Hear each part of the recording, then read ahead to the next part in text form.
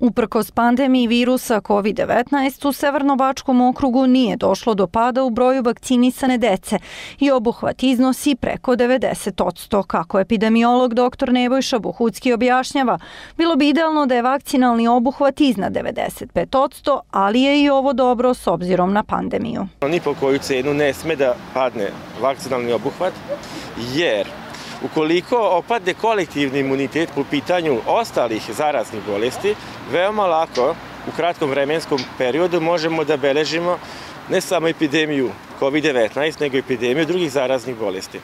Istina, u nekim delovima naše republike, nažalost, došlo je do pada obuhvata obaveznim vakcinama, međutim, ono što je dobro, to je da ako pogledamo kakav je kolektivni imunitet, a to nije samo stvar jedne generacije, nego niza prethodnih generacija, on je dalje veoma visok. Prema kalendaru obavezne vakcinacije u Srbiji deca se štite od 11 zaraznih bolesti i to pomoću pet vakcina. Već u porodilištu daje se vakcina protiv tuberkuloze i hepatitisa B.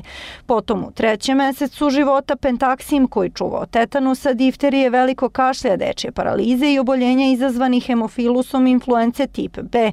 Nešto kasnije vakcinu koja štiti od streptokokne pneumonije, a u drugoj godini MMR protiv malih boginja, zauški i rubeole. Od ovih bolesti najbliže smo tome da iskorenimo dečiju paralizu, ali dokle god postoje uzročnici, kolektivni imunitet mora da se održava, ističe dr. Bohucki.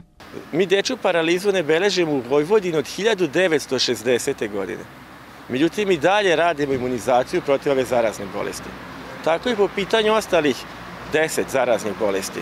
Uzročnici su prisutni, njih ne beležimo jer su stavljeni pod kontrolu, neke su eliminisane ali nisu i eradicirane.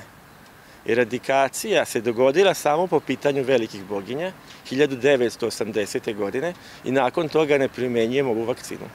Kontrolu nad zaraznim bolestima moguće jedino održati kolektivnim imunitetom, a najbolji primer za to je kada je pre nekoliko godina došlo do epidemije malih boginja sa više hiljada obolelih na evropskom kontinentu, upravo zbog pada vakcinalnog obuhvata MMR vakcinom, zbog čega je vakcina jedino efikasno preventivno sredstvo u borbi protiv brojnih bolesti, zaključuje naš sagovornik.